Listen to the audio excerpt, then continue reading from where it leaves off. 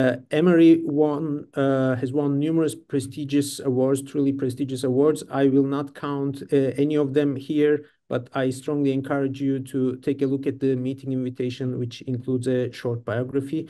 I would just like to say that Emery is a rare kind of polymath. He made multiple fundamental contributions to statistical analysis of neural data, and he is a practicing anesthesiologist. Um, um, I look forward to his talk, uh, and as neuromodulation is uh, coming to focus at the Allen Institute, I believe it will be very timely and interesting. And uh, with that, Emery, it's a pleasure, and please take it away. Great, Uygar, thank you very much. Thanks for inviting me. It's a real pleasure to be here and to take part in your in your your seminar series. So I'm gonna talk about general anesthesia, neuromodulation, altered states of arousal. Because basically, general anesthesia is one of the most common forms of neural modulation that takes place on a day-to-day basis. And just like all, just like the neuromodulation is done in formal experiments, studying this can also help us understand the brain and also help us develop better techniques for providing neuromodulation, in my case, general anesthesia. So these are some of the funding sources I've had the good fortune to have: support from NIH, support from my Department of Anesthesiology at Mass General Hospital, and also the institutes to which I belong at MIT. So this is the outline I'm gonna follow. I'm gonna talk about anesthesia-induced slow delta oscillations. I'll then go over just some other anesthesia factoids that I think uh, everyone should know. And then we'll talk about multimodal general anesthesia. We'll see how that's derived from the um, the other principles that I've laid out uh, prior to this. Then I wanna end up by talking about closed-loop control of general anesthesia and the, and the concept of reanimation, turning the brain back on after anesthesia. So let's begin with the definition. What is general anesthesia? It's a drug-induced reversible state that consists of four conditions: so antinociception, meaning loss of nociceptive processing, unconsciousness, amnesia, akinesia, and stability and control of the physiological systems. And I started the antinociception because when I first wrote this definition back in uh, 2010 in the New England Journal article, I didn't say this as cleanly. I said analgesia. But analgesia refers to pain, sort of controlling pain, and pain is a conscious percept. So and nociception, it refers to the nociceptive system being active even when someone's unconscious, so we have to achieve antinociception. You know, one of the things which is commonly said is that it's not clear how anesthesia works, and, I mean, nothing could be further from the truth. There are multiple ways in which the drugs are altering the dynamics within the brain, but one of the principal ways, as I'm gonna show you here, is by generating oscillations which impair the ability of various parts of the brain to communicate. And and so it it's good that we have it because it it allows us to take care of patients so they can have surgeries or or diagnostic procedures that are invasive. But also, we we're starting to see that it's having many sort of distasteful sort of side effects, which we'd like to control and sort of reduce, particularly in older patients, and I'll talk a bit about that. So let's talk about anesthesia-induced slow oscillations. So this is a cartoon which I made up based on some work that was done by the very well-known Belgian um, neurophysiologist, Frederick Bremer. So Bremer did these experiments in cats, and he first transected the spinal cord uh, from the from the brainstem at about the level of A. And when he measured the EEG in the cats, he saw what looked like an awake-appearing EEG, and he called it the encéphale isolé or the isolated encephalon. Then another set of cats, he did the same experiment, except now he transected at this level here, which gets most of the brainstem above and the cerebrum, most of the brainstem below and the cerebrum above. And when he measured the EEG there, he saw slow delta oscillations. And so he called that the cerveau isolé, cerveau in the sense of cerebrum. And that those experiments were some of the first early experiments that led us to appreciate there's something in this region here that has to do with arousal. And one of the main points that I want to make is that all the anesthetics have targets there, and they produce slow oscillations by hitting different targets. So just because you see a slow oscillation doesn't mean it has it has the same properties. And and and and because and that's gonna dictate. It's when one of the things that sort of dictates, you know, the the degree of the effect the anesthetic has on on the brain. So let me just show you what this looks like in a small video. Um, so we can put EEG on all our patients in the operating room. And so this is a woman I took care of, you know, several years ago now. She has, um, she's gonna have thyroid surgery, and um, she weighs about 80 kilos, and She's about 60 years old. So I'm going to give her just a bolus of propofol, 150 milligrams, very standard dose. And I'll just play the video just to show you what, what happened. So the first thing you're going to see is it's going to get very noisy. That's because when you inject propofol, particularly like in a vein, like the one on the back of the hand, burns like crazy. So the patient's tense. You see all that noise is coming on the uh, EEG there now. That's because they're tensing up. It burns. But that's actually going to be good from a pedagogical standpoint because we'll be able to see exactly what it does. Another six. So watch what happens right here. You see those oscillations, they change dramatically. Beta oscillations get deeper, slow oscillation, even deeper. And then now what she's going to do, she's going to go flat and then burst, flat. So this is what we just went through. She was awake here showing, and we saw what are most most likely gamma oscillations. So they're very small amplitude oscillations, you know, high frequency. And this is where we do most of our processing when we're, you know, when we're conscious. And then we saw her go right to this state here. When I said, watch this change, she went to the state of like beta oscillations. And these beta oscillations are, they're sedative, they mark a sedative state. So if I wanted to sedate her just enough so that she could have a colonoscopy or procedure which didn't require full general anesthesia, I would dial the propofol up until I got the beta oscillation and I would hold it there to maintain them. Then we saw her next go into this the very large, actually this state here, E. So the very large slow oscillations. And that's going to be the key to let us know from what Bremer told us that there's something happening in the brainstem. Now the propofol is going everywhere. Cortex, thalamus, also the brainstem. So it's having effects there too. But a good deal of this initial effect that we see here is certainly happening in the brainstem. And that's what, that's what I'll talk about for propofol, as well as two other anesthetics. Then we saw her go into burst depression, which is a very deep state of anesthesia. And also between the bursts, she was isoelectric. So these are states of coma, right? The same, we see them in states of, we see them in patients are income, let's say from trauma or, or a ischemic or ischemic injury. And what we try to do is we try to maintain you in this state here. This is, un, this is sufficiently unconscious so that you can have surgery, but not sort of overdoing it. And you can see that there's a slow oscillation here. You can see it right there. And there's a higher frequency oscillation riding on top of it, about, about 10 hertz or so. So that, that's a state which we try to produce with propofol and the other GABAergic anesthetics. And we know that a person is sufficiently unconscious. I just want to say a little bit about propofol's flow delta oscillations and also a bit about its alpha oscillations. So in the operating room, what we see here is we can watch this on, on the monitor. We can watch a spectrogram. So this is a woman I took care of a few years back. She's going to have a small procedure. She's about 19 years of age. I inject propofol back over here, and you see the slow oscillations come on. And then right at the time of the slow oscillation come on, a very strong band of 10 hertz oscillations comes on as well. So this is the classic signature of propofol being infused into a young person. A 10 hertz oscillation here and a slow delta oscillation that you basically see here. And it's maintained the whole time so again, this is time on this axis, this is frequency on this axis, and the colors tell us, you know, the power of the oscillation in at, at, at any given frequency. So she has a very strong, a lot of power, around 10 hertz, and a lot of power during the 0.1 to about 4 hertz range. And then you turn the propofol off, she the oscillations break up, and somewhere over here she wakes up. So that I can see in the operating room. This isn't enhanced or anything like that. It looks just this just this clear in the operating room. So where's what's really happening here? So we have to look for brainstem targets because I want to talk about the slow oscillation. So what are the principal brainstem targets for propofol? Well, propofol comes to, to the brainstem through the basilar artery, which runs right along here on the underside of the pons. And then it hits all these networks right here, which are the network coming out of the preoptic area, the hypothalamus, which basically synapse on pretty much all the arousal systems, the ventral periaqueductal gray, lateral dorsal tegmental tract, pedunculopontine tegmental tract, dorsal raphe, locus coeruleus. So, so these are inhibitory, in GABA, GABAergic inhibitory synapses. So propofol can take advantage of that, and actually, this is probably the site where it's acting when we're generating those slow oscillations. Now, as I said, it's also acting in the cortex. It's also acting.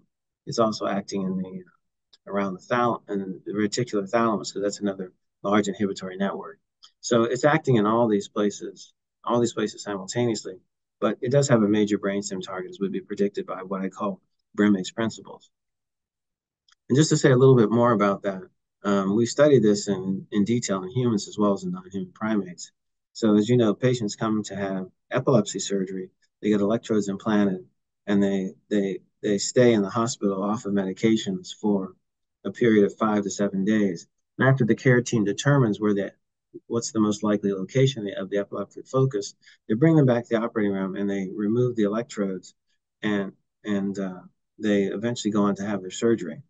Well, when you come back to the operating room to have the electrodes removed, you have a natural experiment. You can watch how neurons and also field potentials change as a person goes into the state of general anesthesia. And that's what I'm showing here. So here's a here's a patient. You can see the neurons that are spiking here. And this is a neuron which is next to the red electrode, which is, this is the local field potential coming from the red electrode, the blue, and also the green one here. So, and look what happens now when the person's unconscious. There are those large slow oscillations. So here, the neuron can spike anywhere where that it wanted to. And now it's spiking like, like now, now, now. It's spread out by roughly about two seconds or so. So if that's happening all across the cortex, it's going to be very, very difficult for the neurons to communicate. And so you can understand why this oscillations are so strongly associated with producing a, a state of unconsciousness. And we went further with this thanks to Earl Miller and his, his postdoc Andre Bastos and our PhD student Jake, Jacob um, Jake Donoghue, where we did the same sort of experiment, except now in the non-human primates, we could obviously implant electrodes wherever we want. So we had electrodes in two frontal areas, 8A and prefrontal cortex, and also posterior parietal cortex and superior temporal gyrus. And then this is what the neurons are doing. So just to put this in the context, here are those sort of gamma oscillations we were talking about before. And here are the neurons spiking in these various regions. And the spike rate's around 10 spikes per second. And then after getting the propofol, you hear the large slow oscillations like we were talking about just a second ago. And then if you look here, you can see there are these huge up-down states. So they seem to go across all four of the regions simultaneously. So spiking here, no spiking, spiking here. But even when the neuron spikes, it's spiking far less than it was spiking when it, when the when the animal was conscious. And in this particular case, the um, this particular case, the spike rates have dropped to one half to one spike per second. So something about a 90, 95% drop in spike rate. And again, so I, what I would assert is that in this state here, I don't know how much the spike rate has to drop for the animal to become unconscious, but I would submit to you that in this state, the animal is profoundly unconscious because, and it's going to be very, very difficult to for the various regions to communicate. And if anything, the regions have actually become a little more synchronized, you know, so they're off at the same time and they're on at the same time. So in addition to sort of shutting down, they're actually synchronized. And this is one of the ways in which propofol is in, in producing unconsciousness. Let's talk about ketamine, because ketamine has been in the news a lot in the last several years, because low-dose ketamine is now a very um, effective, has been demonstrated to be a very effective therapy against uh, for the treatment for treatment-resistant depression. And ketamine has some very interesting dynamics. And this is work which is done by Indie Garwood, who's one of my PhD students who just finished up, and Sourish Chakravarty, one of my postdocs. So ketamine actually, when you give a low dose of it, you get a high frequency oscillation like the one you're seeing here. And it, it sort of shows up in the spectrogram here. And it's, it's quite high frequency. It's, you know, 30 to 40 hertz or so. And then if you give a larger dose such that the person becomes unconscious, and you can actually do surgery on them. If they're finally unconscious, they can do surgery. The, the, the lower dose I was talking about would just create sedation. You actually oscillate between this high frequency state and this low frequency state. So it goes, and you can see it here on the, on the spectrogram. So high frequency, slow, high frequency, slow. And that's the signature that you see for pro, for ketamine, which is quite different from the dynamics we just saw with propofol. And again, just following through on Bremer's principle, so propofol works by blocking by blocking NMDA receptors, but it's more than that. It has some very detailed interaction with the receptor. It just doesn't block it. It it can create very several different states of the of the receptor, which affects the circuitry around it. So, but but speaking specifically about brain targets for the pro, for the ketamine, we can see the the the um, parabrachial nucleus and the median pontine reticular formation are, are two very powerful glutamatergic sites which um, project out of the brainstem into the basal forebrain and the central thalamus. So we could we could conjecture that that's the location the slow oscillations coming from, coming from, uh, coming from ketamine. And then what Indie did was she actually repeated the experiments in non-human primates. So the data that I was showing before was in humans, and in non-human primates, she studied this the, the switch between these two dynamics, and it just doesn't go fast, slow, fast, slow. It actually goes slow, a little faster, a little faster, fast, and then back to slow. So there are about four states that it jumps through. So she used the hidden Markov model to describe this. So if you take this little section of the EEG here, you can see this fast oscillation here, the gamma oscillations, and the slow oscillations down here. And now you can see the, if you blow that up, you can see the, the fast oscillations here, the slow. And so here it is going from a slow state, a little faster, a little faster, quite fast, then dropping down slow again and continuing to repeat. So there, there are a number of intermediate stages that this dynamic goes through that is that occurs when the person is profoundly unconscious under, under ketamine, which is a dynamic is entirely different from what you see with propofol. And if you look at this um, in, in more detail, what Indie was able to show that roughly about 50% of the time, all the all the sites, the four regions which she was recording, are are in synchrony. About 67% of the time, the um, the posterior regions are in in in uh, are in, are synchronized, and then about roughly 80 plus percent of the time, the two frontal regions are are synchronized. So again, what you see is a, a very drastic change in dynamics, and along with you know synchrony where there wouldn't necessarily be synchrony before. So this this you can start to understand why these oscillations could impede communication.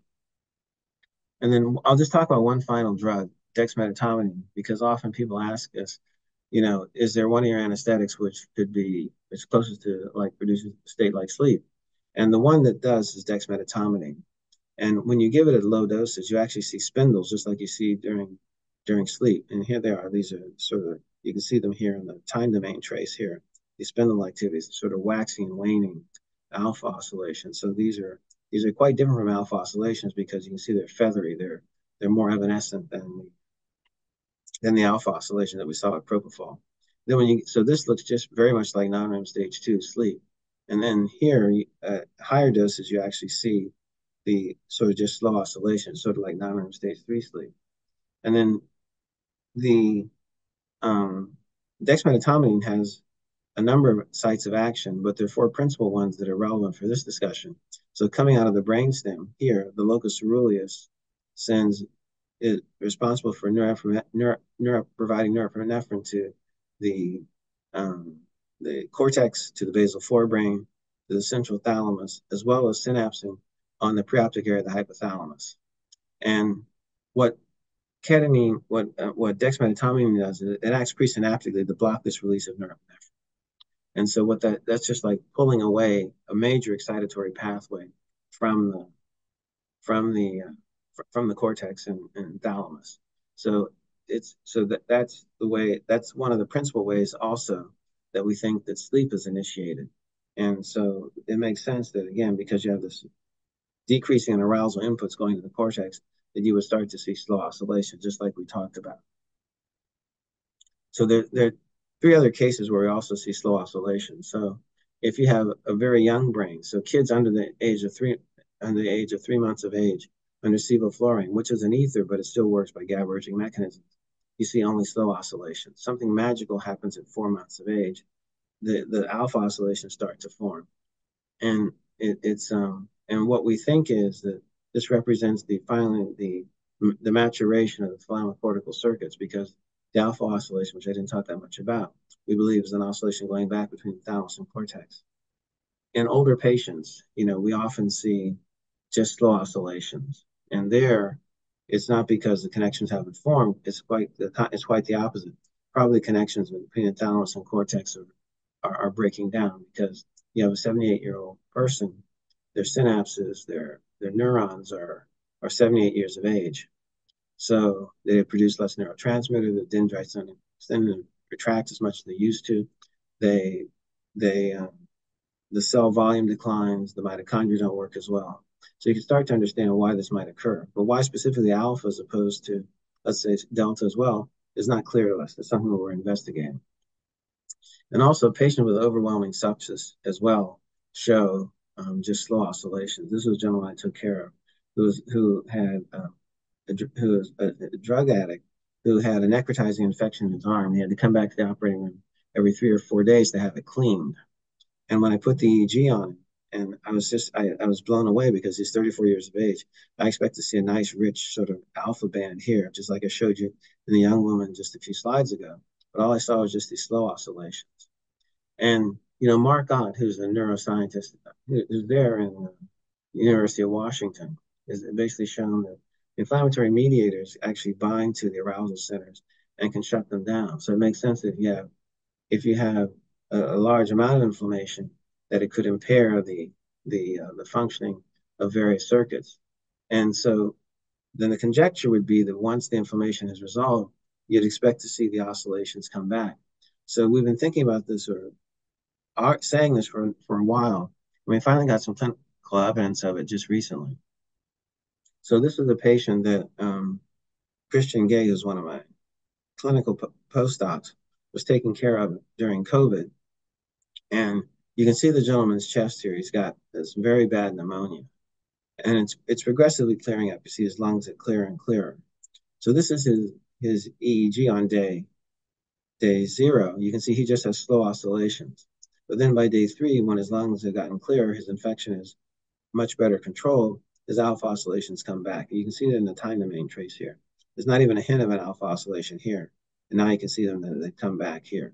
So this is so state of the state of health can also affect dramatically the oscillations that we see in patients under anesthesia. So just some other anesthesia factoids, things which I think everyone who's in neuroscience should be aware of. So first of all, the state, the, the response to anesthesia changes dramatically with age also. So here's the 31 year old who's receiving, 30 year old who's receiving propofol, just like the, the figure I showed you just the, of the young woman um, uh, a few slides back. And you can see the, the 10 hertz oscillation, the slow oscillation. And then over here, here's a gentleman who's 57, so he could be his father. And he has, you know, the, the slow oscillation, the, I'm sorry, the 10 hertz oscillation, which you can see, is slightly lower. It's between 8 to 12 hertz, and where up here it's between 10 to 15. And that's exactly what we see. It tends to move down essentially with age. But you can see he has a very strong slow oscillation, and his alpha oscillation is probably not as strong as his, but it's still very apparent. Now, this is a woman I took care of uh, several years back who was having a tumor the size of an American football removed from her chest. It took the thoracic surgeons the better part of um, better part of six hours in order to do that. And you can see that there's a total loss of anything up here in the in sort of the gamma range whatsoever. You can see maybe a faint 10 hertz oscillation at best and extremely weak uh, slow delta oscillations. And so by following this woman's EEG, I was able to give her one third of the already age adjusted dose of of the drugs and actually keep her adequately un unconscious because I was using the EEG to track her brain state. And then here's something that's really sobering. These two guys are roughly the same age. His EEG looks like his, his EEG looks like hers. So when you first see this, you go, oh, what's going on? Well, we age different physically. It makes sense that our brains age differently as well, too. And what's interesting is, you know, anesthesia might reveal this. Um, you know, so think of this, forget about this as a, as a, using anesthesia for the purpose of putting someone in a state so they can tolerate surgery. Think of this as a neuroscience experiment. I put in a stimulus. The stimulus is basically the anesthesia. The brain oscillates, and depending upon the state of the integrity of that brain, it may oscillate, you know, appropriately or maybe less so. So there we, we certainly realize there's a concept of brain age. And, you know, anesthesia might be one way of sort of revealing that. And then just on the other end of age spectrum, you can probably guess what the kids look like. So there's a three-year-old and there's a 14-year-old. You can see this have the same patterns, but their their their powers over a much broader range of, of frequencies. So this needs to be taken into account when you're taking care of kids, because if this could be misinterpreted and someone is just accustomed to taking care of adults as a person being awake, but actually this is a three-year-old who's profoundly anesthetized. And this power, which sort of that you see here, that's really substantial, It turns out it peaks at about six to eight years of age. That's when it's at its highest. And after that, it, it gradually declines over time, as you can sort of see across these other these other cases. One other factoid, which I think everybody should be aware of, general anesthesia is not sleep. All right. We often say sleep to patients when we're about to induce general anesthesia. We say that, you know, excuse me, Mr. Johnson, I'm gonna have you go off to sleep for your operation, but don't worry, I know how to wake you up. Um, and it's it's a bad habit because it, it, it, as I said, general anesthesia is not sleep. What I actually say to patients is that Mr. Jones, I'm going to take good care of you. You're going to be unconscious. You won't form any memories. You won't you won't feel any pain or anything, and you, we may relax your muscles so it's easier for the surgeons to operate. And we'll we'll watch all your vital signs and make sure that they they stay they stay stable. So I just give him the definition of general anesthesia. I don't I don't try to create a metaphor because the metaphor doesn't work. And as we know, when you when you have sleep, so this is the eyes closed alpha oscillation you can see posteriorly when someone closes their eyes and they're awake. And here's just sort of like the, the frontal gamma oscillation that was showing at the outset. So with sleep, we go through non-REM one, two, three, then back up to REM. This, so we do that about every 90 minutes, four to six times a night. We typically wake up from REM sleep. You know, there's REM is like the brain is is more awake, it's active, it's it's probably doing tasks. And during there's more sort of maybe resting and sort of sort of doing some uh, some some pruning of information during the slow wave states. Whereas here, this is so this is a physiologic process alternating between, you know, probably three or four states. Whereas here, what happens is we bring you down to a state like this, and we just hold you there, and keeping the brain oscillating. And then once we're done, we turn off the drugs and the oscillations disappear. So you can think of these as basically pathologic oscillations because they're not they're not normal. And once you see that, you can understand why they would probably make you unconscious. You can also understand why older people would have brain dysfunction after anesthesia because they spend you know, several hours under anesthesia having having their brain be in the state, and then when they when the anesthesia is turned off, the brain just doesn't flip back to being normal again. It, it may require some time, and some people may require a substantial amount of time. The general anesthesia is not sleep. So multimodal general anesthesia. This is my colleague, Marusa Naranjo, who's an anesthesiologist, very talented anesthesiologist in, uh, in the Yucatan Peninsula in Mexico. And she has taught me a, a lot about multimodal anesthesia, which I'm going to explain in just a second. But she was pushed to try to think in these terms, like trying to think of different ways to control nociception during anesthesia, because she noticed that when she used opioids, she had a high fraction of her patients who were would become nauseated or vomiting. And she conjectured, she hasn't shown this yet, that had to do with she has a high fraction of people there who are Mayan descent. It, can, it, it sort of consistently happened in that in that population. So, what does multimodal general anesthesia mean? So here's how we typically give anesthesia. We we induce anesthesia by giving a drug like propofol. It's called a hypnotic, makes you unconscious. You could also do it with one of the inhaled drugs. And inhaled drugs that we use like sevoflurane, isoflurane, desflurane, they're all ethers still. We use opioids primarily for anti-nociception, and we don't give anything for amnesia because if you're profoundly unconscious with either the inhalational drugs or the propofol, you'll be unconscious. You'll you'll have you'll have amnesia as well. You won't form any memories. Your memory circuits will basically be turned off. And then here, for the for the sake of to keep you immobile, we give muscle relaxants, the anticholinergic drugs. So this is sort of what's called balanced general anesthesia and it's just the way we've practiced. I mean and, and the idea is to try to use just you know different drugs so that you know you, you can have more specific effects. However we think there's a better way to, to do this than than what's happening here. And so it should be something like this. This is what we call multimodal general anesthesia. So what you should do is you have surgery because basically surgery hurts. So you should try to maximize the anti-nociception by targeting not just one pathway, but multiple pathways to control nociception.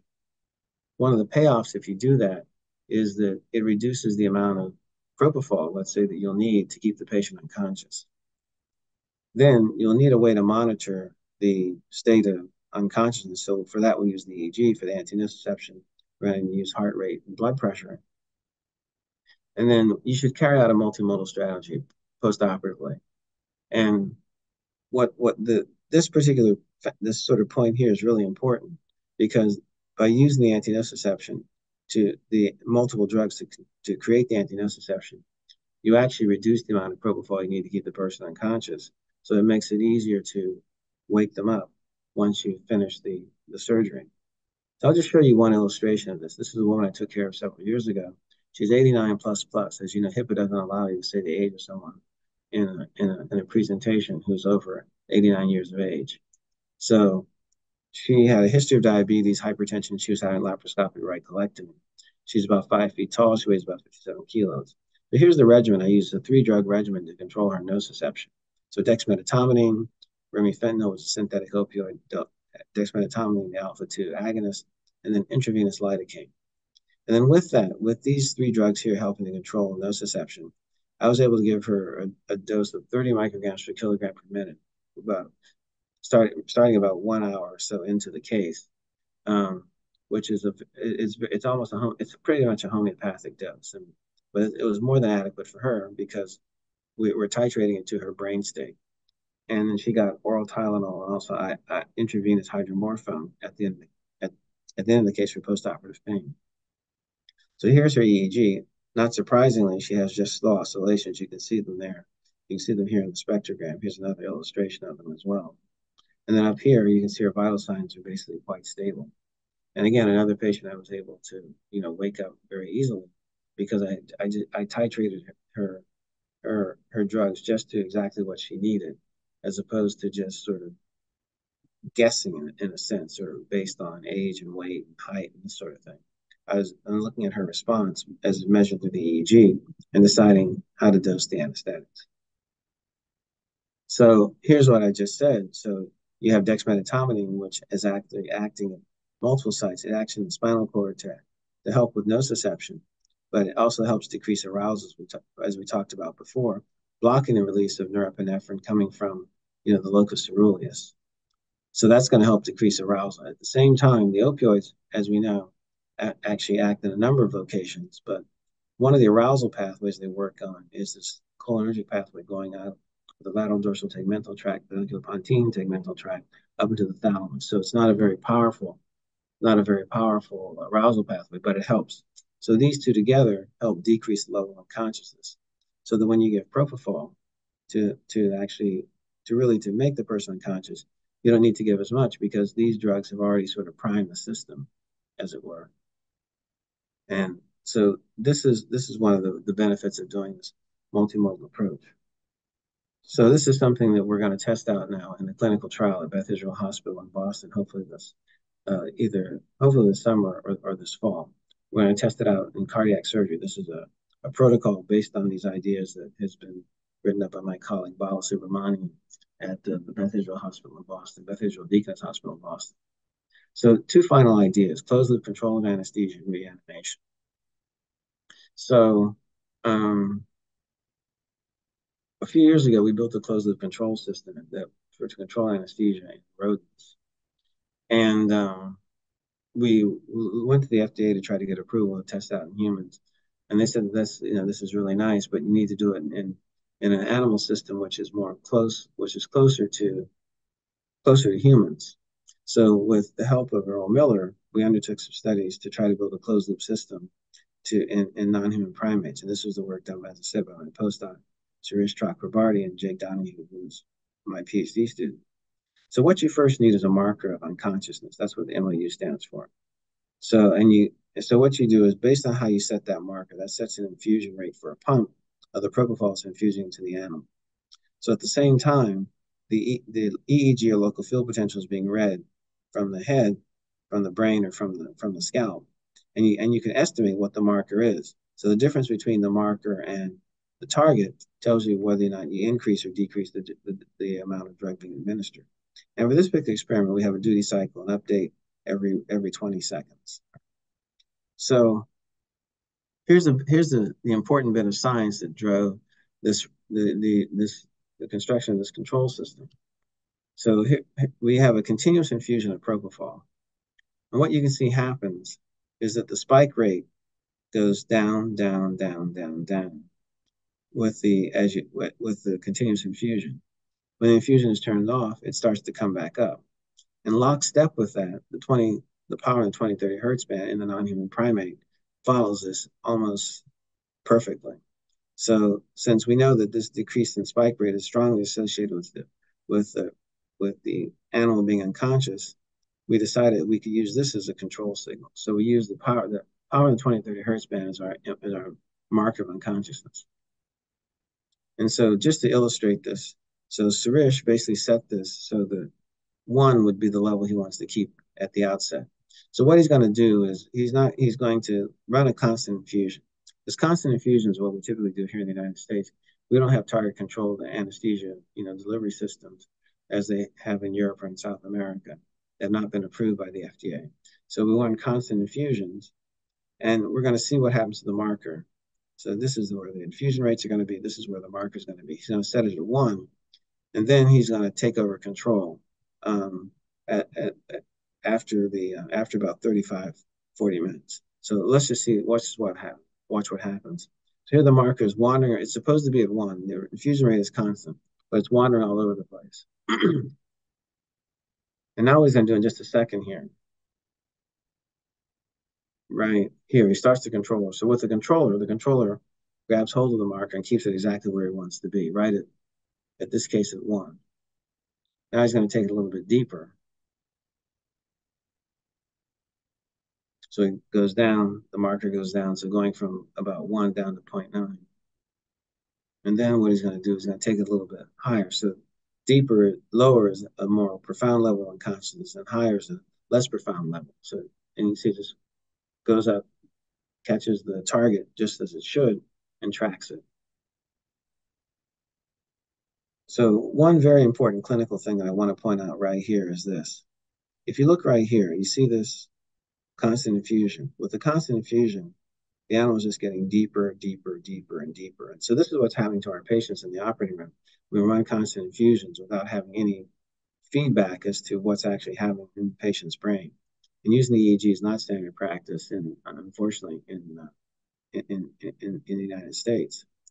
And so what did the controller do? It actually shut off for about three minutes so that it could recapture the target. And then it went on, you know, controlling. So, so this shows that now that we've been able to do this in non-human primates, we feel that this we can demonstrate to the FDA that this would be feasible in humans. So the next step was we're, putting together a system which we'd like to test in humans. And hopefully we'll be able to start doing that sometime, if not later this year, early next year.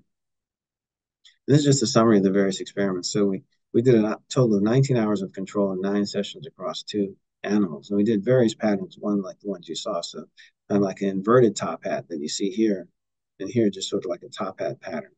And we had no trouble controlling the controlling the animal's level of consciousness. So this closed loop control of anesthesia is very feasible. So Ken did another set of experiments in which he now trains the animal to execute a task. So the animal goes and if it hits the correct light, turn around and gets a food reward. So first he's going to do the same thing, anesthetize the animal, this time using isoflurane. And then he's going to wake him up. And the animal's going to wake up and then start executing the task. So you can see that he's behaviorally intact. He's not just he's not just sort of awake and you know sort of drowsy or what have. And then Ken's going to turn keep, he's keeping the stimulation on and keeping the anesthesia on while he's stimulating. Then he's going to turn it off and you're going to see the animal go back out. So here's here's the experiment. So the animal is out right now. It's basically sedated with isoflurane. There's no stimulation. Again, this is an in his ventral tegmental area. So he turns on the stimulation here. The animal comes to. He goes and looks for a food reward, but there's no free lunch. So he has to actually hit the correct side. So he hits the, the left side there, right? So now he gets a reward. So he's he's still working. So Kim Ken changes the stimulation from 40 hertz to 20 hertz just to make see the, the same things going on. He hits the, the correct light again. So he's cognitively processing. That's the point we're trying to make. And we, this is a little overboard while we're keeping the anesthesia on at the same time. Obviously, once you woke someone up, woke someone up, you wouldn't leave the anesthesia on. But this is just showing that this stimulation can work even in the presence of the anesthesia. Now watch what happens here. He's going to turn around now to start the task again. And Ken is going to turn the stimulation off, which he does. And he's back out again. So he was only awake because we were stimulating his arousal pathways in the ventral tegmental area. So here's what's going on. Ken has done this also with Ritalin. So when you administer Ritalin, one of the pathways that it acts on is this mesocortical pathway. It's starting in the VTA, going through the limbic system, you know, on up to cortex.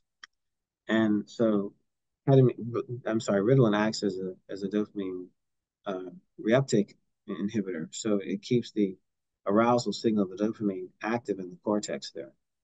And then, as we were showing, Ken done this also by electric stimulation as well as optogenetically by stimulating the D1 neurons in the ventral tegmental area. So this research has strongly suggested that we could identify some sorts of agents to use to wake patients up from anesthesia. And I think that would, that would change our practice dramatically because it, it would probably help people recover cognitive function sooner, as well as just, you know, helping them, helping to dissipate the effects of the anesthetic. So what have I shown you?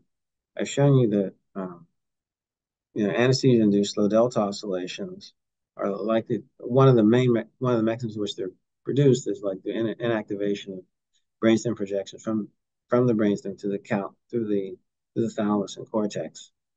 In addition, there's also very profound hyperpolarization in the cortex and thalamus because there are tons of interneurons around there where propofol can act directly. But this is one of the main one of the main uh, pathways. And we, I showed you that the same thing could be inferred for dexmedetomidine as well as for uh, ketamine. And as I showed you, each anesthetic has a, a different class, has, a, has its own EEG signature. It changes with dose, with patient age, and also physiological condition. I showed you the uh, inflammation of the patient with, uh, with, with COVID. And so because, the, but because these signatures of the drug are so strong, we can build a closed loop system with them. That's what I just showed you. However, and we can also do multimodal general anesthesia, which is what we should be doing. We use our understanding of the pain circuits to actually choose the combination of anti-nociceptive agents we'd like to use, and then take advantage of the fact that also decreases arousal. So it allows us to use much less of the propofol or the gases as some people, as many people typically use, keep the person unconscious. And again, the person comes to with a clearer head. And certainly reanimation is something that we should be doing because at the moment, recovery is a passive process. And the, the more unhealthy your brain is, the more difficult it is for you to come to from anesthesia. And that's been documented in a number of studies now. And it's also been documented that the use of EEG to guide dosing actually reduces the the, the incidence of postoperative cognitive dysfunction, particularly in older patients. So this is what I'd like to see more of. So this is general anesthesia, and this is all these various phenomena, clinical neuroscience that anesthesia is directly related to, and we don't we don't study it as much as we should.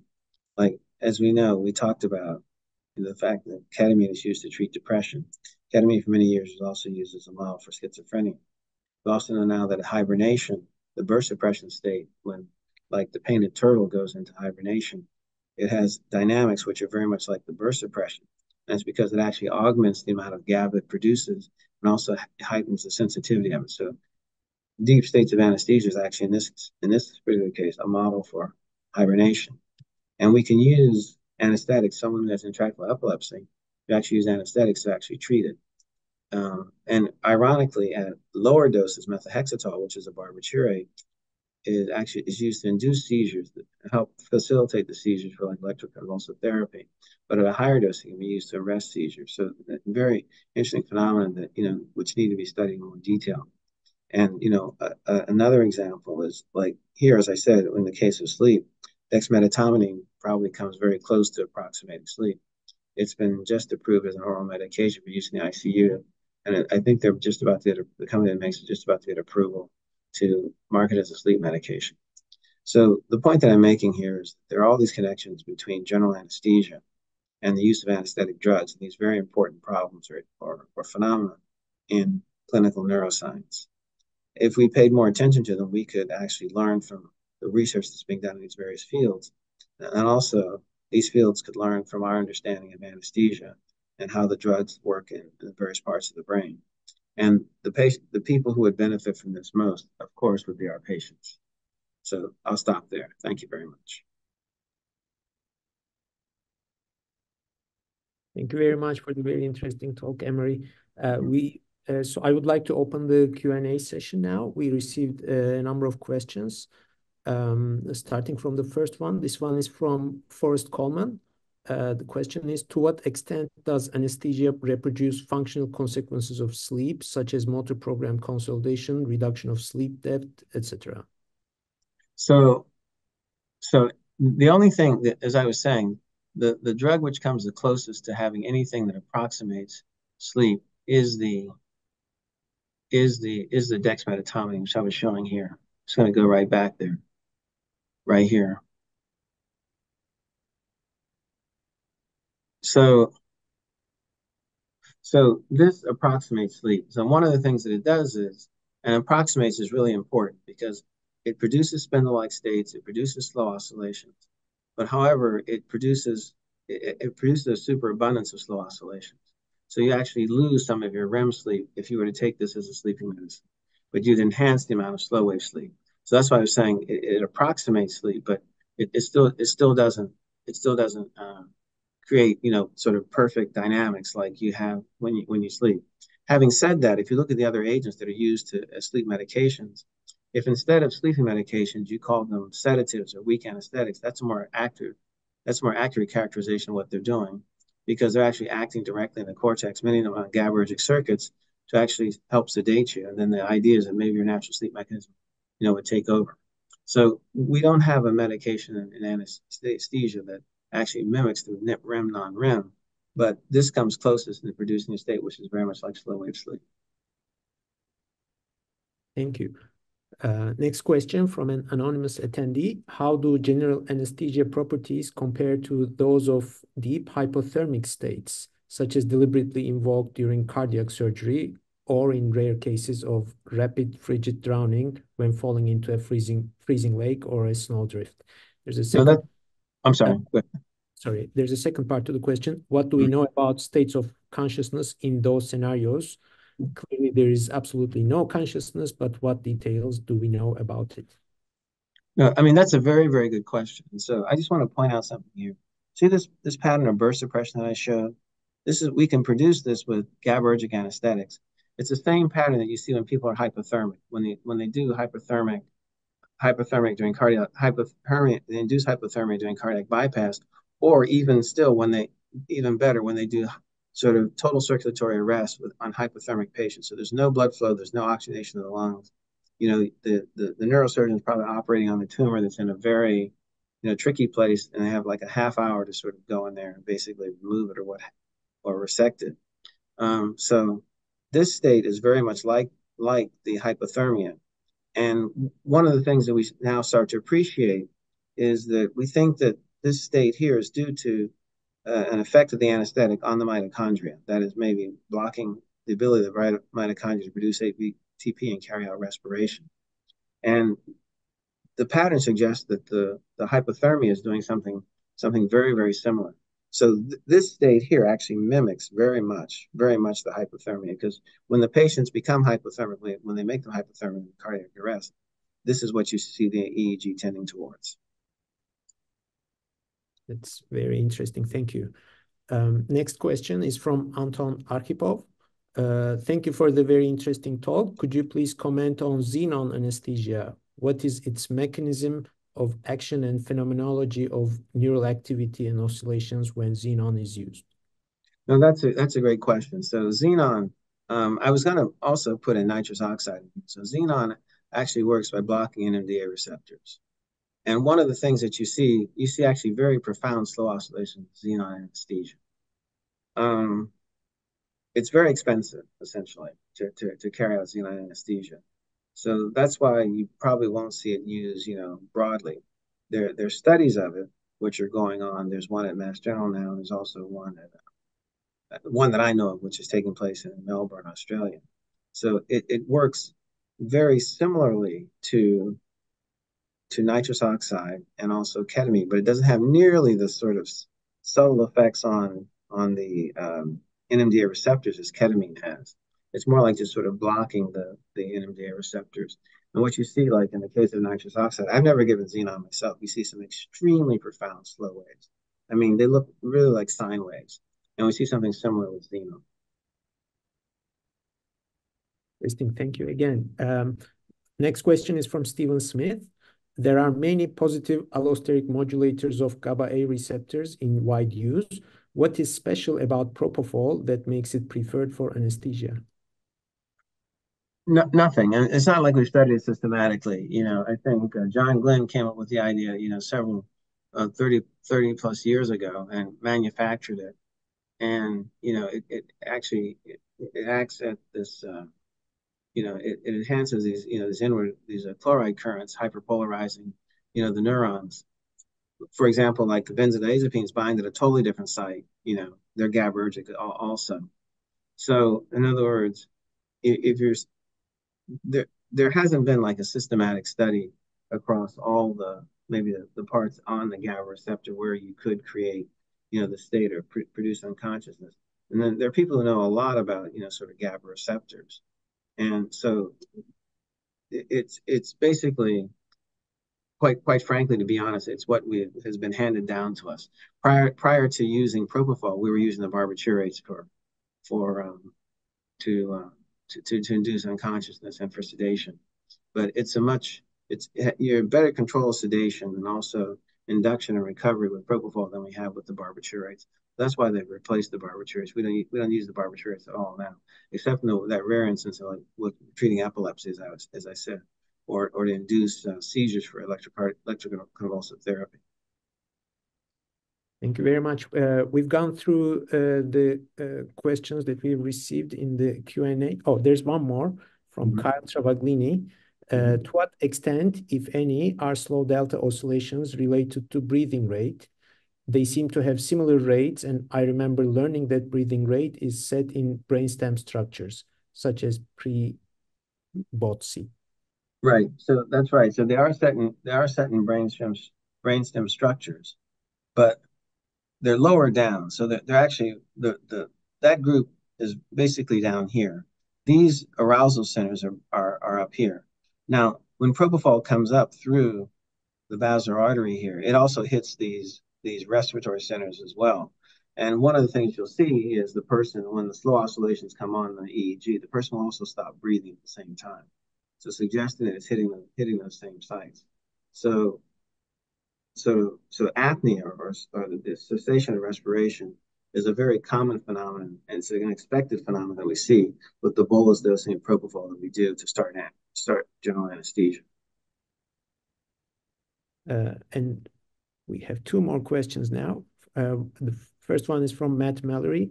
Uh, great talk. Thank you. You showed spectrograms from two individuals about the same age under anesthesia, but one mm. appeared more similar to that of the 81-year-old.